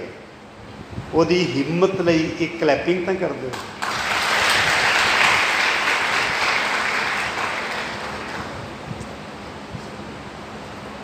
ਇਹਨੂੰ ਕੀ ਕਹਿੰਦੇ ਨੇ? ਗਲਾਸ ਕਹਿੰਦੇ ਨੇ। ਇਹਨੂੰ ਟਾਈਮ ਮੈਨੇਜਮੈਂਟ ਵੀ ਕਹਿੰਦੇ ਨੇ। ਤੁਸੀਂ ਕਲੈਪਿੰਗ ਕਰ ਲਈ, ਮੈਂ ਪਾਣੀ ਪੀ ਲਿਆ। ਇਹ ਸਕਿੱਲ ਡਿਵੈਲਪਮੈਂਟਸ ਨੇ ਇੱਕ ਤੇ ਫੇਰ ਸਮਝਾਵਾਂਗੇ। ਤੁਹਾਡੇ ਕੋਲ ਬੜੇ ਹੋਣਹਾਰ ਸਰਦਾਰ ਰਜਿੰਦਰਪਾਲ ਸਿੰਘ ਜੀ ਨੇ। ਇਹੋ ਜਿਹੀਆਂ ਇਹਨਾਂ ਦੀਆਂ ਸੇਵਾਵਾਂ ਤੁਸੀਂ ਲੈ ਸਕਦੇ ਹੋ ਲੋਕਲ ਨੇ, ਨਾਲ ਹੀ ਇਹਨਾਂ ਦਾ ਘਰ ਵਾ। ਆਪਾਂ ਅੱਗੇ ਚੱਲੀਏ। ਡਾਕਟਰ ਸਾਹਿਬ ਸਿੰਘ ਨੂੰ ਨੌਕਰੀ ਮਿਲ ਗਈ। ਬੱਚੇ ਰੱਜ ਕੇ ਪੜ ਗਏ। ਕਰਜ਼ੇ ਦੋਨੋਂ ਉਤਰ ਗਏ। ਉਹਦੀ ਲਾਈਫ ਉੱਤੇ ਯੂਨੀਵਰਸਿਟੀਆਂ ਵਿੱਚ ਖੋਜਾਂ ਹੋਣ ਲੱਗ ਪਈਆਂ। ਲੁਧਿਆਣੇ ਡਾਕਟਰ ਸਰਬਜੋਤ ਕੌਰ ਨੇ ਉਹਦੀ ਲਾਈਫ ਤੇ ਪੀ ਐਚ ਡੀ ਕੀਤੀ ਹੈ। ਅੰਮ੍ਰਿਤਸਰ, ਇੱਕ ਡਾਕਟਰ ਸੀ ਦਲਜੀਤ ਸਿੰਘ। ਉਹਦੀ ਡੈਥ ਹੋ ਗਈ। World famous eye surgeon. ਉਹਦਾ ਏਸ਼ੀਆ ਪੱਧਰ ਦਾ, ਅੱਖਾਂ ਦਾ ਹਸਪੀਟਲ ਉਹਦੇ ਤਿੰਨੋਂ ਬੱਚੇ ਡਾਕਟਰ। ਇਹ ਡਾਕਟਰ ਦਲਜੀਤ ਸਿੰਘ ਪਤਾ ਕੌਣ ਹੈ? ਏਸੇ ਨੱਥੂ ਰਾਮ ਸਾਹਿਬ ਸਿੰਘ ਦਾ ਬੇਟਾ, ਜਿਹਨੂੰ ਕਹਿੰਦੇ ਸੀ ਬੁੱਥੀ ਦੇਖ ਤੂੰ ਪੜੇਗਾ ਪਟਿਆਲੇ 'ਚ ਇੱਕ ਰਜਿੰਦਰਾ ਹਸਪੀਟਲ ਹੈ। ਉੱਥੇ ਇੱਕ ਡਾਕਟਰ ਹੈ ਹਰਸਿੰਦਰ ਕੌਰ। ਘਰ ਜਾ ਕੇ ਮੋਬਾਈਲ ਚੱਕੋ। ਕਹੋ, ਪਾਪਾ, ਮੋਬਾਈਲ ਚਲਾਉਣਾ ਆ ਗਿਆ ਮੈਨੂੰ। YouTube ਤੇ ਹਰਸਿੰਦਰ ਕੌਰ, ਡਾਕਟਰ ਸਰਚ ਮਾਰੋ। ਉਹਦੀਆਂ ਵੀਡੀਓ ਸੁਣੋ। ਉਹਨੇ ਪੌਣੀ ਦੁਨੀਆ ਵਿੱਚ ਜਾ ਕੇ child psychology health women crime women empowerment ਤੇ ਲੈਕਚਰ ਕੀਤੇ ਨੇ। ਯੂਐਨਓ ਚ ਪੰਜਾਬੀ ਵਿੱਚ ਲੈਕਚਰ ਕੀਤਾ। ਪੰਜਾਬੀ ਟ੍ਰਿਬਿਊਨ ਜਾਗਰਣ ਚ ਉਹਦੇ ਆਰਟੀਕਲ ਛਪਦੇ ਨੇ। ਇਹ ਡਾਕਟਰ ਹਰਸਿੰਦਰ ਕੌਰ, ਇਸੇ ਲੱਥੂ ਰਾਮ ਸਾਹਿਬ ਸਿੰਘ ਦੀ ਦੋਤੀ ਹੈ, ਜਿਹਨੂੰ ਕਹਿੰਦੇ ਸੀ ਬੁੱਥੀ ਦੇਖ ਤੂੰ ਪੜੇਗਾ ਇੱਕ ਦੋਤਾ ਡਾਕਟਰ ਜੈ ਰੂਪ ਸਿੰਘ, ਗੁਰੂ ਨਾਨਕ ਦੇਵ ਯੂਨੀਵਰਸਿਟੀ ਦਾ ਵਾਈਸ ਚਾਂਸਲਰ ਬਣਿਆ ਸੀ। ਇੱਕ ਬੰਦਾ ਪੜ ਗਿਆ, ਅੱਜ ਪੀੜ੍ਹੀਆਂ ਕਿੱਥੇ ਪਹੁੰਚ ਗਈਆਂ ਹਰਸਿੰਦਰ ਕੌਰ ਕਹਿੰਦੀ, ਮੈਂ ਨਾਨਾ ਜੀ ਨੂੰ ਸਲੂਟ ਕਰਦੀ ਆ ਜਿਹਦੀ ਹਿੰਮਤ ਨੇ ਸਾਨੂੰ ਗਰੀਬੀ ਚੋਂ ਕੱਢ ਲਿਆ। ਪੁੱਤਰ, ਤੁਸੀਂ ਪੜ ਜਾਓਗੇ, ਤੁਹਾਡੇ ਤੁਰ ਜਾਣ ਤੋਂ ਬਾਅਦ ਵੀ ਆਉਣ ਵਾਲੀਆਂ ਪੀੜ੍ਹੀਆਂ ਤੁਹਾਨੂੰ ਸਲੂਟ ਕਰਨਗੀਆਂ। ਪੜ੍ਹਾਈ ਦੀ ਵੈਲਿਊ ਸਮਝ ਆ ਗਈ ਨਾ? ਗੱਲ ਪਤਾ ਕੀ ਹੈ? ਲੋਕੀ ਰੁਕ ਜਾਂਦੇ ਨੇ, ਤਾਈਓ ਮੁੱਕ ਜਾਂਦੇ ਨੇ। ਸਾਹਿਬ ਸਿੰਘ ਰੁਕਿਆ ਨਹੀਂ, ਇਸੇ ਕਰਕੇ ਮੁੱਕਿਆ। ਸਾਡਾ ਤਾਂ ਪੇਪਰ ਮਾੜਾ ਹੋ ਜੇ, ਸੁਸਾਈਡ ਕਰਨਾ ਜੀ। ਰਿਜ਼ਲਟ ਵੀ ਨਹੀਂ ਉਡੀਕਦੇ ਬੱਚੇ। ਕਮਾਲ। ਹੈ ਕੀ ਅਸੀਂ ਬੀਤੇ ਤੋਂ ਸਬਕ ਨਹੀਂ ਸਿੱਖ ਸਕਦੇ? ਕੀ ਅਸੀਂ ਭਵਿੱਖ ਨਹੀਂ ਫੜ ਸਕਦੇ? ਬੱਚੇ, ਧਿਆਨ ਮੇਰੇ ਵੱਲ ਪਲੀਜ਼ ਕੀ ਅਸੀਂ ਭਵਿੱਖ ਨਹੀਂ ਫੜ ਸਕਦੇ? ਕੀ ਅਸੀਂ ਇੱਕ- ਇੱਕ ਸਾਲ ਚ ਕਿ 6 ਮਹੀਨੇ ਚ ਸਪਲੀ ਟੁੱਟ ਜਾਂਦੀ ਹੈ? ਕਿ ਅਸੀਂ 6 ਮਹੀਨੇ ਜਾਂ 1 ਸਾਲ ਚ ਮਿਹਨਤ ਕਰਕੇ ਦੁਬਾਰਾ ਲੀ ਤੇ ਨਹੀਂ ਆ ਸਕਦੇ? ਮਰਨ ਵਾਲੇ ਤਾਂ ਕਾਇਰ ਹੁੰਦੇ ਨੇ। ਥੋੜੇ ਹੌਸਲੇ ਤੇ ਛੋਟੇ ਦਿਲ ਵਾਲੇ ਲੋਕ ਕਦੇ ਜ਼ਿੰਦਗੀ ਦੀ ਲੰਬੀ ਦੌੜ ਨਹੀਂ ਦੌੜ ਸਕਦੇ। ਜ਼ਿੰਦਗੀ ਚਾਹੀ ਮੁਸੀਬਤ ਤੇ ਹੌਸਲਾ ਹਾਰ ਬਹਿਣਾ ਇਹ ਕਾਇਰਤਾ ਸੀ ਇਬਰਾਹਿਮ ਲਿੰਕਨ ਨੂੰ ਜਾਣਦੇ ਹੋ? ਅਮਰੀਕਾ ਦਾ ਪ੍ਰੈਜ਼ੀਡੈਂਟ। ਦੁਨੀਆ ਦੀ ਪਾਵਰ। ਜਿਹੜਾ ਬੰਦਾ ਦੁਨੀਆ ਦੀ ਪਾਵਰ ਬਣ ਗਿਆ, ਪਾਵਰ ਤਾਂ ਮਹੱਲੇ ਦੀ ਮਾਣ ਨਹੀਂ ਹੁੰਦੀ। ਉਹ ਬੰਦਾ ਜਦੋਂ ਪੜਦਾ ਸੀ ਪੁੱਤਰ, ਉਹਦੇ ਕੋਲ ਘਰ ਨਹੀਂ ਸੀ, ਕੱਖਾਂ ਦੀ ਕੁੱਲੀ 'ਚ ਰਹਿੰਦਾ ਸੀ। ਤਾਂ ਤੁਹਾਡੇ ਘਰਾਂ ਵਿੱਚ ਪੱਖੇ, ਕੂਲਰ ਤਾਂ ਚੱਲਦੇ ਹੋਣਗੇ। ਉਹਦੀ ਝੁੱਗੀ 'ਚ ਲਾਈਟ ਨਹੀਂ ਸੀ। ਸਟਰੀਟ ਲਾਈਟ ਥੱਲੇ ਫੁੱਟਪਾਥ ਤੇ ਬਹਿ ਕੇ ਪੜਦਾ ਸੀ। ਉਹਦੇ ਕੋਲ ਕਿਤਾਬਾਂ ਨਹੀਂ ਸੀ। ਦੋਸਤਾਂ ਕੋਲ ਉਧਾਰੀਆਂ ਮੰਗ ਕੇ ਪੜਦਾ ਸੀ। ਮੀਂਹ ਬੜਾ ਪਿਆ, ਝੌਂਪੜੀ 'ਚ ਪਾਣੀ ਭਰ ਗਿਆ ਉਧਾਰੀ ਮੰਗੀ ਕਿਤਾਬ ਗਲ ਗਈ, ਉਹਦਾ ਮੁੱਲ ਤਾਰਨ ਲਈ ਡਾਲਰ ਨਹੀਂ ਹੈਗੇ। ਕਹਿੰਦਾ, ਦੋਸਤਾ, ਤੇਰੇ ਘਰ ਲੇਬਰ ਕਰਦੇ ਆ। ਕਿਤਾਬ ਦਾ ਮੁੱਲ ਕਿਦਾਂ ਤਾਰਿਆ? ਉਹਨੇ ਮੁੱਲ ਦੀ ਲੇਬਰ ਕਰਕੇ ਦੋਸਤ ਦੇ ਘਰ ਭਾਂਡੇ ਮਾਂਜ ਕੇ ਪੋਚੇ ਲਾ ਕੇ